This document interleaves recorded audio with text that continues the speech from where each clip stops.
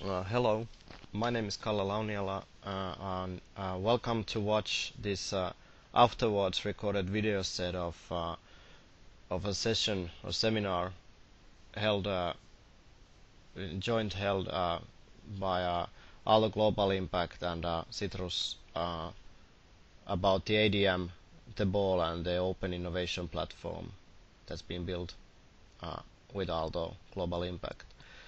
The video is uh, split in three parts. First, uh, we'll uh, give up a brief history of ADM to the ball. Um, then there will be another set of uh, explaining the basics of the ball, and uh, then there will be uh, the now and near future scenarios and the business cases about the ball uh, that we currently see of.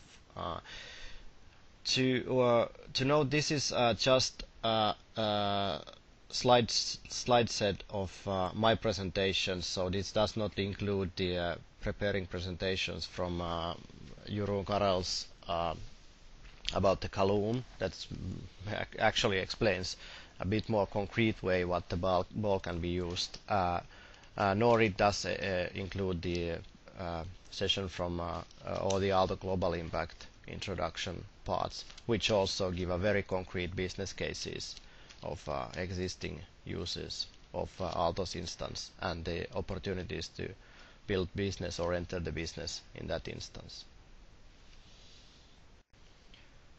Acronyms to be used in the presentation. Open Innovation and a Collaboration Platform is referred as OIP.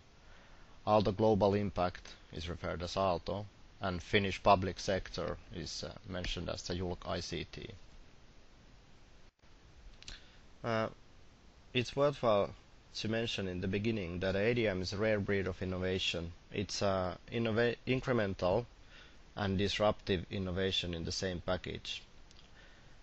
Its power actually comes from the incremental aspect. It's a tiny adjustment of today's way of working software. It's very familiar kind of technology that developers are uh, use, uh, used to do, but it solves certain difficult problems so completely that it's extremely disruptive. It introduces no compromises over today's way of doing because it's side by side applicable with today's way of doing. It's a method not a tool, framework, nor, nor even a library. So it introduces basically no additional constraints over mainstream tooling what the developers are already using. And as a side by side, um, it means that you uh, any solution can automate any single part of it, uh, do manual work, uh, and step by step automate or even stop automating if they over automate something and uh, be constantly moving onwards without having to revert back in anything.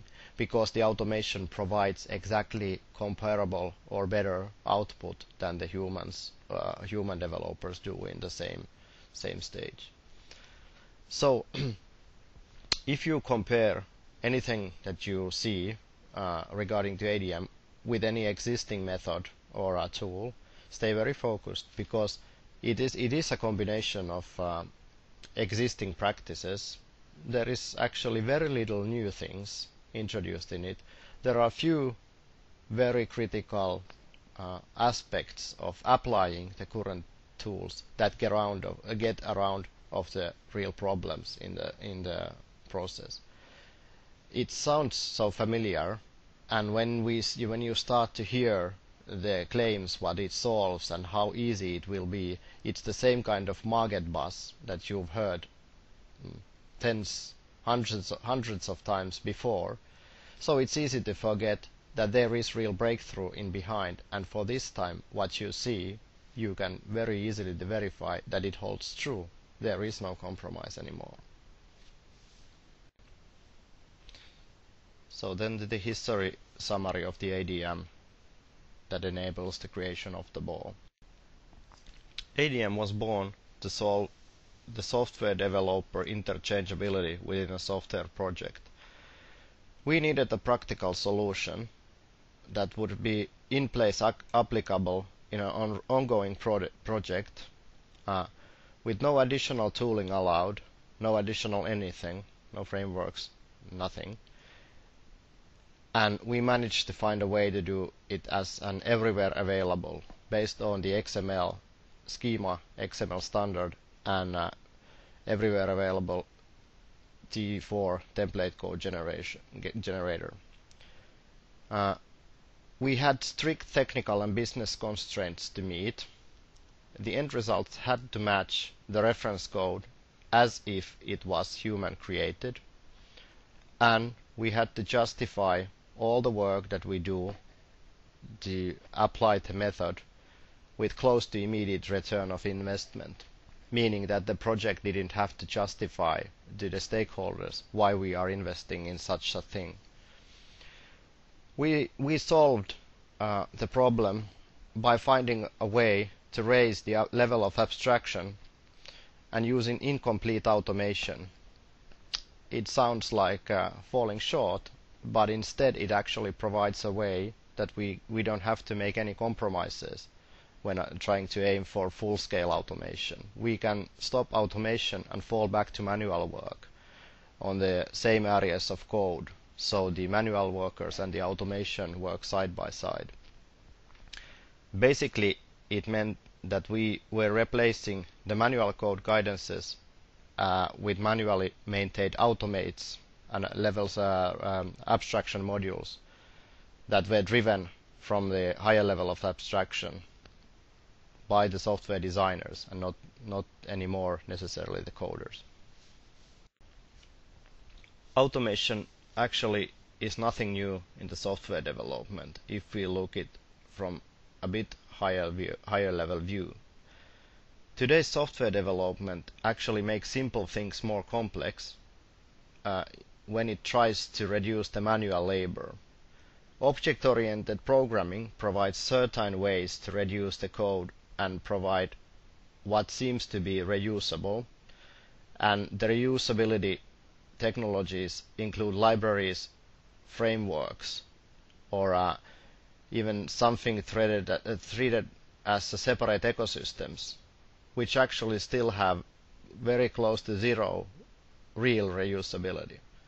The problem in the reusability lies in the technical detail of trying or not being able to binary level combine different platform compilations or even the same platform compilations uh, from uh, different languages. The example why it sounds so weird is uh, if we look at the cross-platform mobile development. In real world, we have identical interfaces meaning that we have familiar buttons uh, with some kind of meanings and pretty much identical screens. We also have identical application logic if we are talking about an application that's supposed to run on multiple different mobile platforms. So why the same application has to be rewritten multiple times and why it is so difficult still to apply any kind of user-centered design in the process. Very brief history summary of the development from the core ADM to the ball.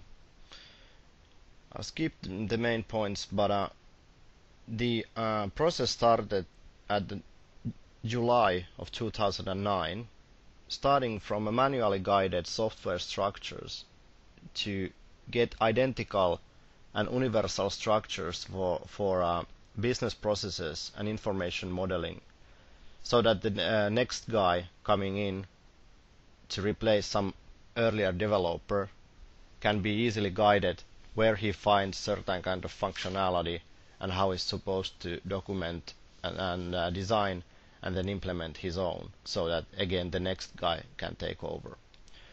The real breakthrough happened in August 2010 when we happened to find very practical and efficient tooling support for the process. And we immediately realized that it uh, actually enables cross-platform targeting with a clear difference that it, it targets native SDKs with no additional library nor um, framework. And at that stage we realized that this will change everything. Then easily two years pass when we gradually built up full ecosystem infrastructure, completing that on January 2012. And during the springtime and the summertime, we finally can wrap our message of the ecosystem in a more easier consumable way so that people start to understand how easy it will be, how easy it is to enter, and uh, how immediate it is uh, available to use.